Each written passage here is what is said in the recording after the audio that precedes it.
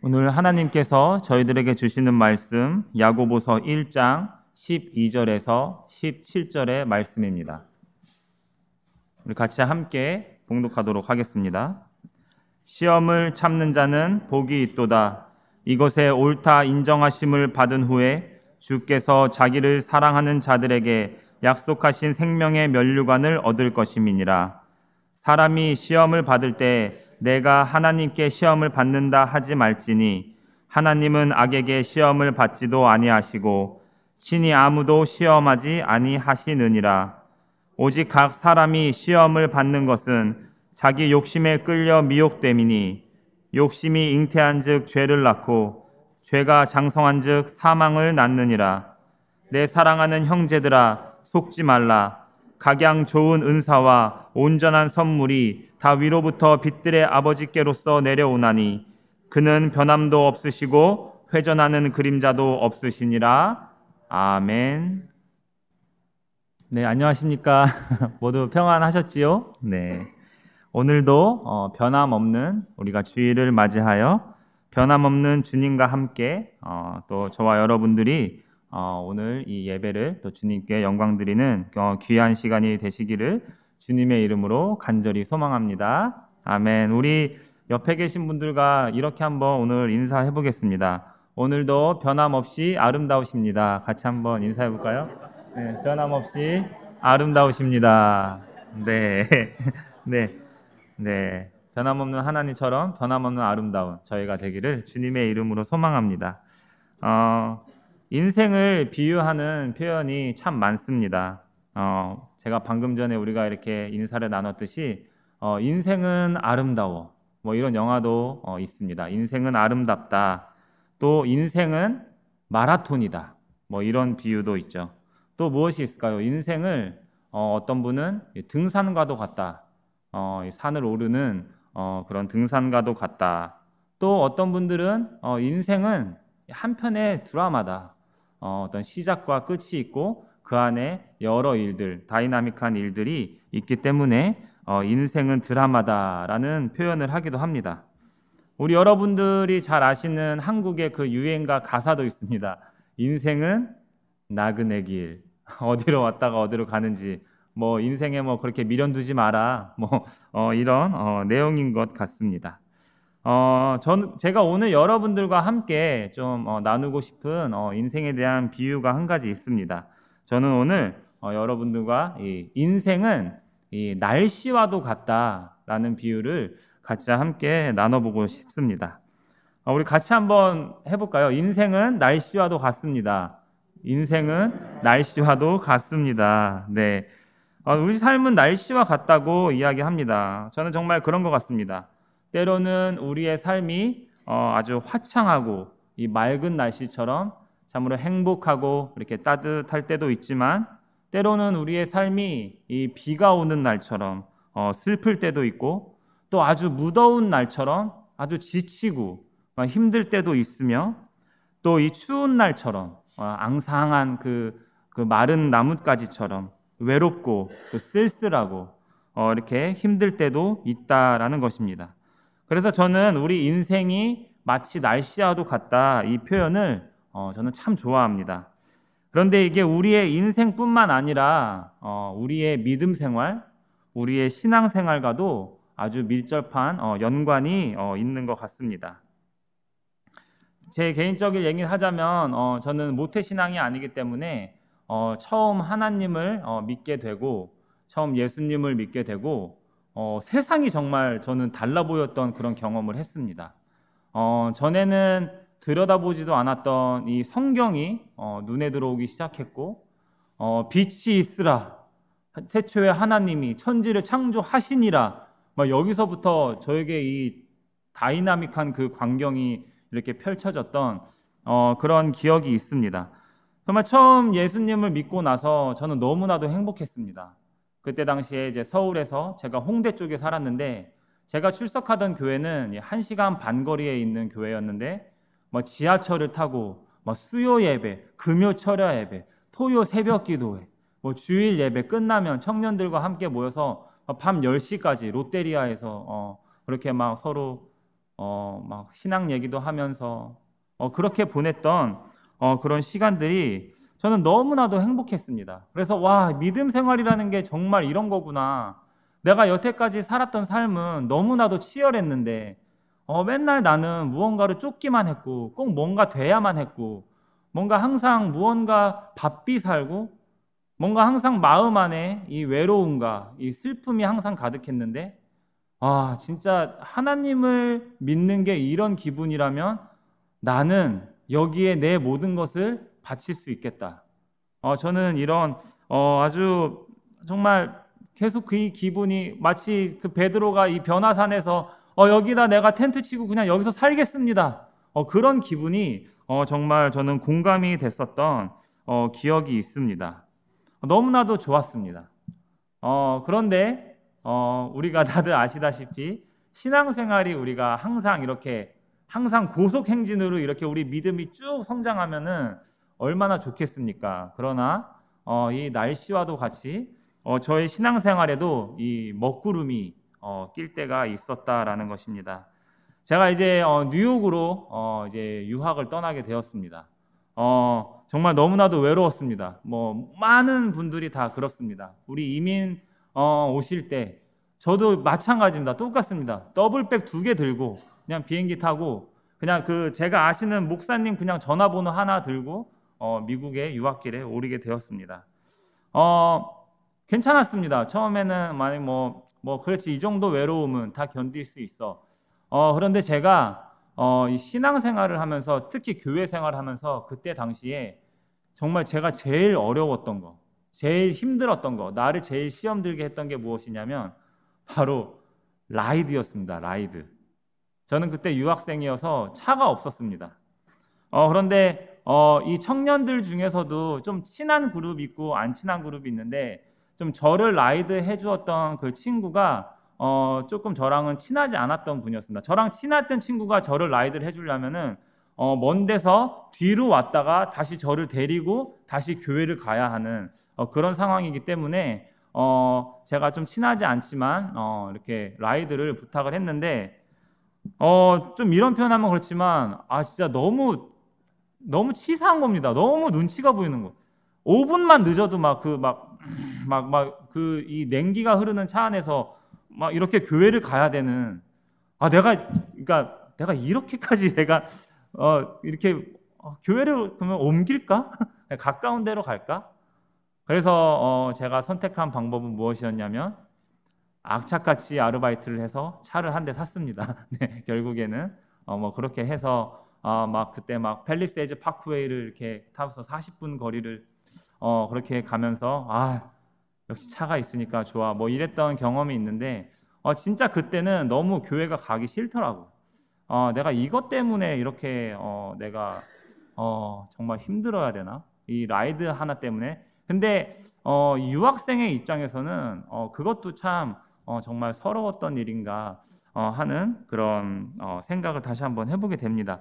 어, 정말 어려운 일들이 있고 또 믿음 생활을 하다 보면은 어쩔 때는 어, 기쁨이 많이 있을 때도 있고 이렇게 어, 우리의 믿음 생활에도 때로는 어, 열정적이어서 아주 passionate하게 우리가 이 믿음 생활을 할 때도 있지만 또 때로는 우리가 아주 critical하게 어, 믿음 생활을 할 때도 있다라는 것입니다. 왜 이건 이렇게 되지? 왜 이건 이렇게 해야만 되지? 왜 우리가 교회에서 꼭 이렇게 기도해야만 되지? 뭐 이런 critical한 어, 아주 매우 차가운 어, 그런 신앙생활을 할 때도 있다라는 것입니다. 또 신앙생활을 하다 보면 어, 특히 이 목회자들은 여러 성향의 성도님들을 만나게 됩니다. 어, 성경 공부를 할 때도 어, 다양한 어, 성격을 계신 분들이 어, 계십니다.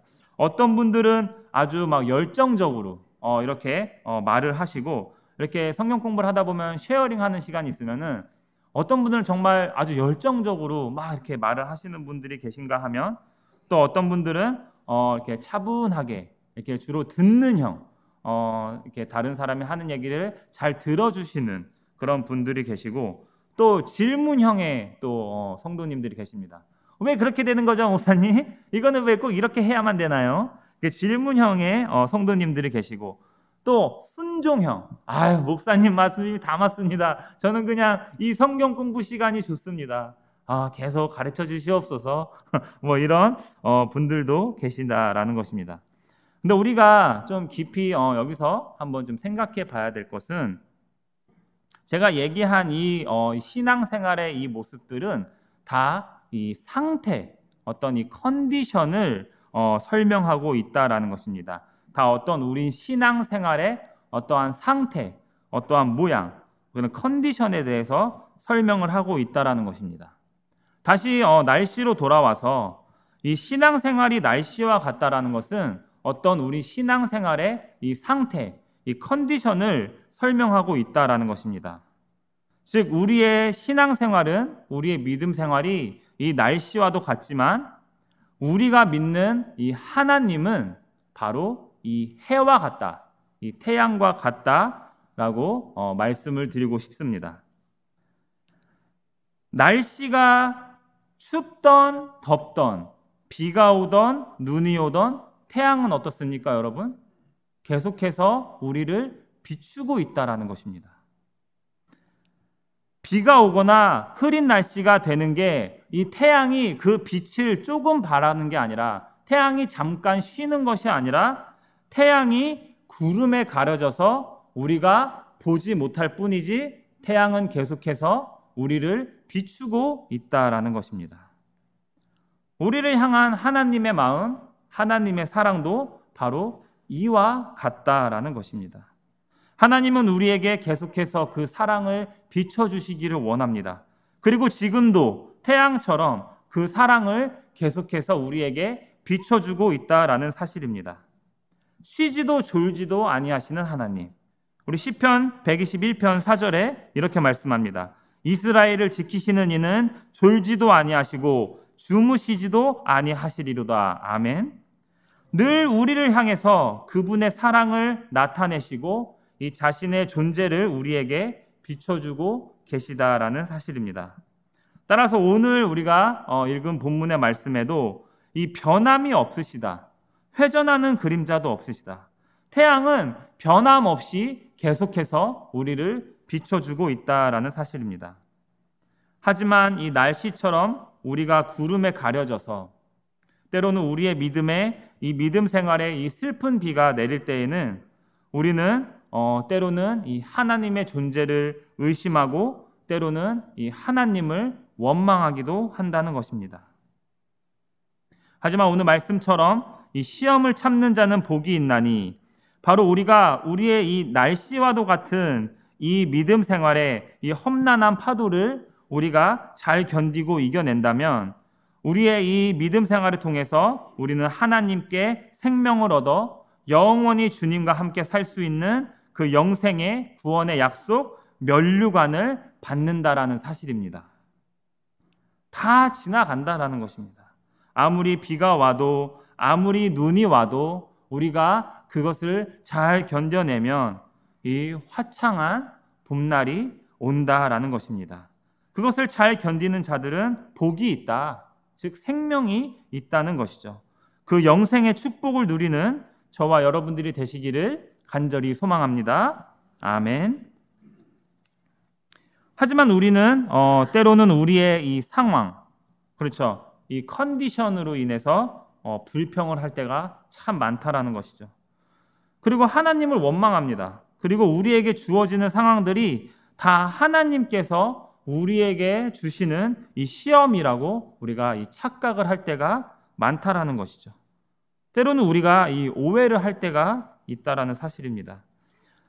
여러분, 내가 스스로 이 만들어낸 어려움을 하나님이 주시는 시험이라고 우리는 착각해서는 안 된다라는 사실입니다.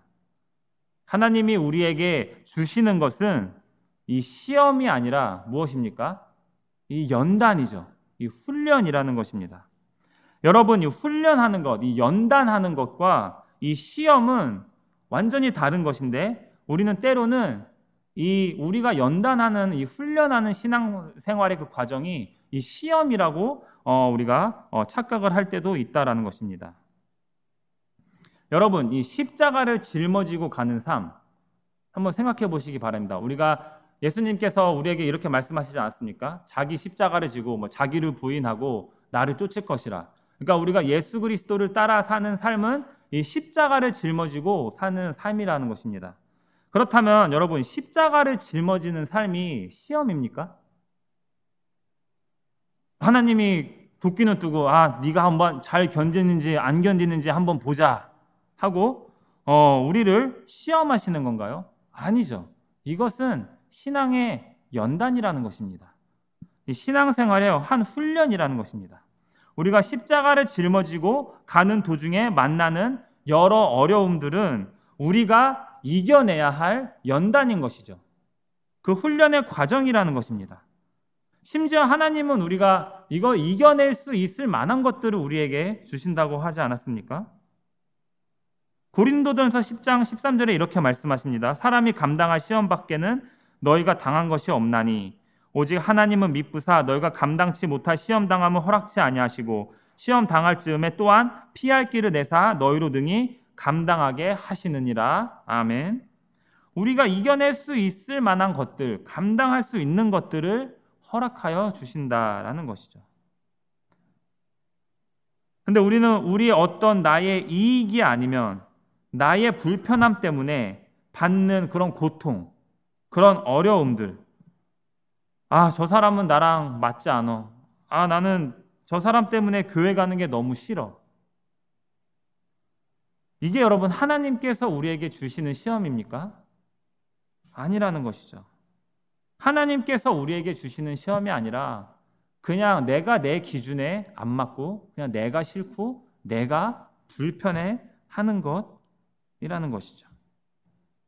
그냥 나의 입장에서 생각하는 나의 불편함이라는 것입니다. 우리가 여기에 왜 하나님은 나에게 이런 시험을 주십니까? 때로는 우리가 이렇게 부풀려서 우리의 불평이 커져서 이것이 결국엔 어디로 갑니까? 하나님을 원망하는 수준에 이르게 된다라는 것이죠. 그렇다면 우리가 어, 이러한 신앙생활을 한다면 우리가 다시 한번 돌아봐야 될 필요가 있다라는 것입니다. 다시 날씨로 돌아가 보겠습니다. 여러분 비가 오는 게 태양이 사라졌기 때문인가요? 계속해서 얘기합니다. 아니라는 것이죠. 비가 오는 게 태양의 탓입니까, 여러분? 아니라는 것이죠. 비가 오는 게 태양의 탓이 아니라는 것입니다. 이처럼 오늘 말씀처럼 우리 믿음 생활이 어려울 때 우리의 믿음에 이 먹구름이 낄 때 오직 각 사람이 시험이 받는 게 무엇입니까? 오늘 말씀에 이 욕심에 끌려 미혹됨이니 욕심이 잉태한즉 죄를 낳고 죄가 장성한즉 사망을 낳느니라 즉 성경에서 말하는 이 시험은 우리의 믿음 생활에 방해가 되는 그 요소의 그 시작점이 무엇이냐? 바로 하나님께서 주시는 시험이 아니라 우리의 욕심 때문이라는 것입니다. 성경은 우리에게 그렇게 말씀해주고 있다라는 것입니다. 이 욕심, 또 이 욕심이라는 것에 대해서 우리가 또 어, 바로 알아야 할 것, 또 아까와 비슷한 이치죠. 우리가 이 욕심을 어떤 선한 의지를 가진 열정과 이 욕심을 우리가 혼동하지 말아야 한다는 것입니다. 이 두 가지는 뭐가 다릅니까, 여러분? 선한 의지를 가진 열정과 이 욕심은 무엇이 다릅니까? 이 열매가 다르다라는 것입니다. 선한 의지를 가진 열정은 이 선한 열매를 맺게 되어 있고 이 욕심의 열매는 무엇입니까? 오늘 말씀에 나왔듯이 죄가 되고 그 죄는 결국 죄의 열매는 무엇입니까? 사망, 죽음을 낳게 된다라는 것이죠. 결국엔 무엇이냐? 그 동기에 그 시작점에 결국엔 이 하나님이 있냐 없냐의 차이라는 것입니다. 내 사랑하는 형제들아 속지 말라.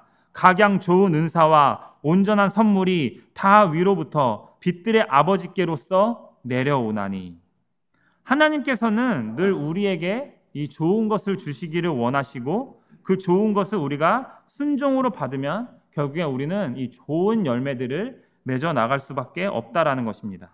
하지만 반대로 이 하나님이 아닌 그 위의 것이 아닌 이 내 내면의 이 욕심의 동기로부터 오는 것은 결국엔 죄를 낳게 되고 영원한 생명의 반대의 길인 영원한 사망의 길로 이르게 된다라는 것입니다.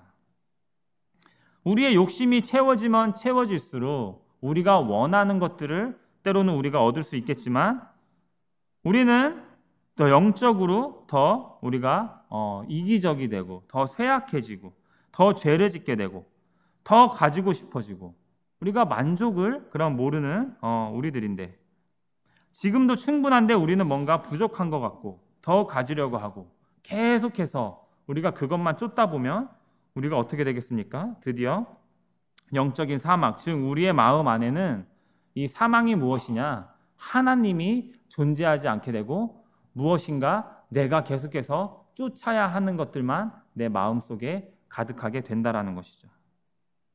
광야에서 이스라엘 백성도 똑같지 않았습니까, 여러분? 그들이 원하는 것들을 하나님께서 주셨을지라도 그들의 영혼은 쇠잔하게 하셨도다, 파리하게 하셨도다.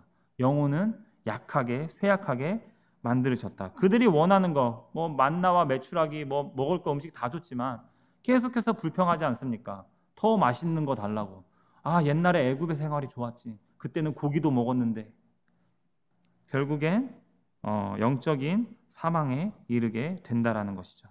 즉, 이 하나님의 부재, 하나님이 이 안에 계시지 않기 때문에 곧 사망의 길로 걸어가야 한다라는 것입니다. 태양이 없으면 이 지구의 모든 생명체들은 다 죽은 목숨이라는 것입니다. 사랑하는 우리 은혜력 교회 성도 여러분, 우리들은 어, 오늘의 말씀처럼 이 속으면 안 된다라는 것이죠. 형제들아 속지 말라. 결국 이 모든 것을 해결할 수 있는 유일한 길은 오직 예수뿐이라는 것입니다. 오직 하나님뿐이라는 것이죠. 욕심을 욕심으로 없앨 수는 없습니다. 욕심은 더 많은 욕심을 만들게 되죠. 우리의 상처, 우리의 상처를 우리가 무엇으로 치료할 수 있겠습니까? 여러분, 상처를 덮으려고 또 다른 상처를 만들 수는 없다라는 것입니다. 내가 내 상처를 덮으려고 또 다른 사람에게 내가 상처를 주어서는 안 된다라는 것입니다.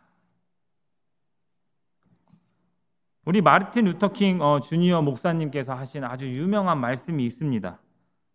어, 영어 원문으로 darkness cannot drive out darkness, only light can do that. Hate cannot drive out hate, only love can do that. 무엇입니까, 여러분? 어둠을 어둠으로 몰아낼 수는 없다라는 것입니다. 어둠을 몰아낼 수 있는 건 오직 빛만이 그렇게 할 수 있다라는 것이죠. 이와 마찬가지로 hate 증오는 증오로 몰아낼 수 없습니다. 오직 사랑만이 증오를 몰아낼 수 있다라는 것입니다. 오직 주님의 사랑만이 우리의 모든 힘든 생활을 다 이겨낼 수 있게 해 주실 줄로 믿습니다. 베드로전서 4장 8절의 말씀입니다. 무엇보다도 열심으로 서로 사랑할지니 사랑은 허다한 죄를 덮느니라. 요한일서 4장 7절 8절에서 이렇게 말씀하십니다. 사랑하는 자들아 우리가 서로 사랑하자. 사랑은 하나님께 속한 것이니 사랑하는 자마다 하나님께로 나서 하나님을 알고 사랑하지 아니하는 자는 하나님을 알지 못하나니 이는 하나님은 사랑이심이라. 잠언 10장 12절에 이렇게 말씀합니다. 미움은 다툼을 일으켜도 사랑은 모든 허물을 가리우느니라. 아멘. 더 많은 구절들, 제가 지금 몇 개만 가져왔지만 더 많은 구절들이 이 사랑에 대해서 이 성경이 계속해서 이야기하고 있습니다. 그렇습니다. 이 주님의 사랑만이 우리의 모든 죄를, 우리의 모든 욕심을, 우리의 모든 허물을 덮을 수 있다라는 것입니다. 우리의 사랑에는 어, 한계가 있을지언정 하나님의 사랑에는 한계가 없다라는 것이죠. 주님의 사랑은 언제나 동일하게 우리를 이 태양처럼 비추고 있다라는 사실입니다.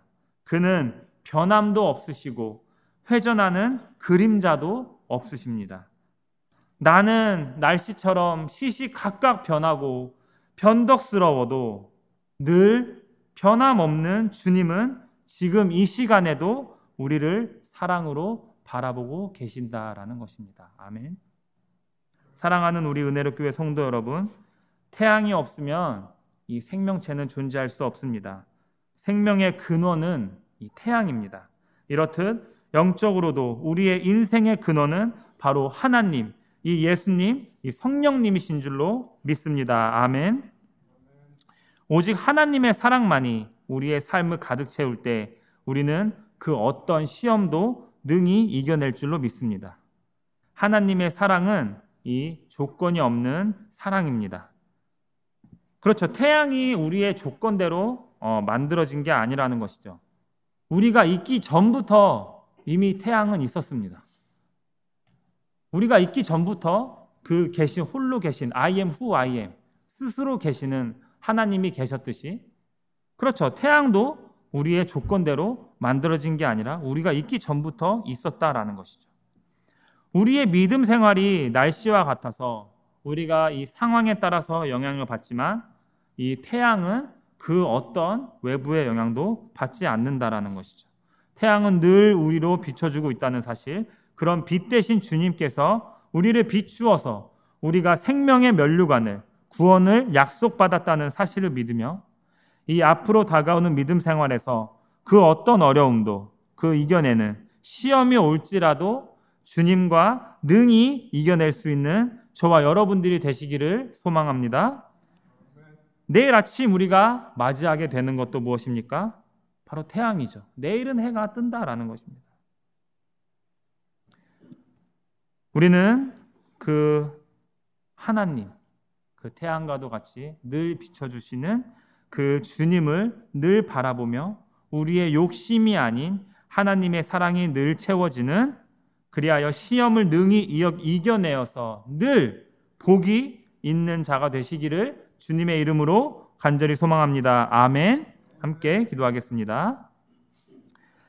사랑이 많으신 하나님 아버지, 늘 변함없이 우리를 지켜주시고 사랑해 주심에 부족한 저희가 이렇게 주님께 감사의 예배를 올려드립니다. 시험을 참는 자에게 복이 있다 하셨습니다.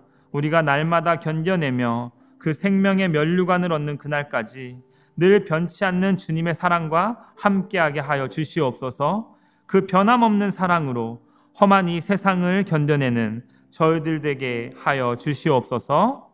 늘 변함없는 우리 주 예수 그리스도의 이름으로 기도드립니다. 아멘.